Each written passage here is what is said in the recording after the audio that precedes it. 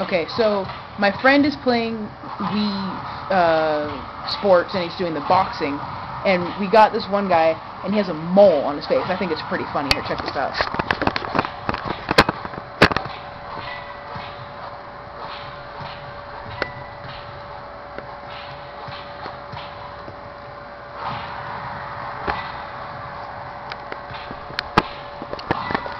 Now, that, in my opinion, is the most funny thing on the planet.